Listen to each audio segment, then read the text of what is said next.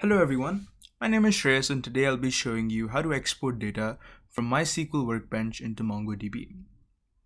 I already have my MySQL Workbench opened up here and as you can see I have some information in here already.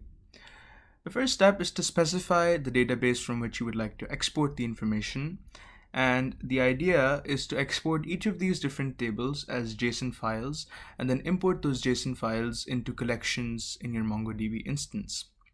Document databases such as MongoDB actually use JSON files or more specifically BSON files um, in order to store records just as tables and rows store records in a relational database such as MySQL. So without further ado, I'm going to right click on the table of interest and select Table Data Export Wizard. The wizard, uh, the wizard selects all the different columns in the table by default, which is what we want. Then specify a location for this file.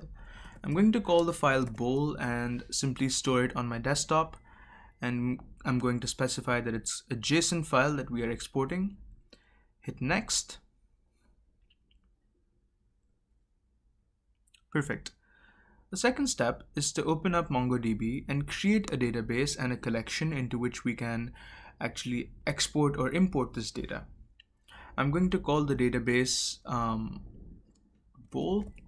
and let's call the collection name test. We don't expect any information to be here by default, but just to confirm, bol test, um, and there is no information as expected. The way to actually put information is to use command prompt and write a very simple line of code.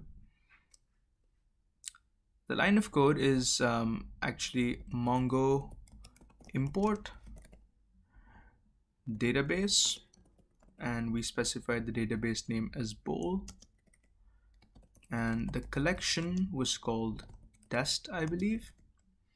And we're going to write JSON array because this is a JSON file that we are importing. And then simply specify the location. In my case, the location simply happens to be the desktop and the name of the file was bol.json. And there you go, we have successfully imported 1344 documents and we can go back into MongoDB and confirm that by hitting the refresh button and we see the information in here already. You can alternatively also use MongoDB shell instead of Compass if you're more comfortable with that. Um, it's pretty flexible and there are many ways to go about doing the same thing. But hopefully this was of some help. Please let me know if you have any further questions and I would be more than happy to elaborate on certain ideas. Uh, but thank you very much for your time and for watching. Really appreciate it, guys. Bye.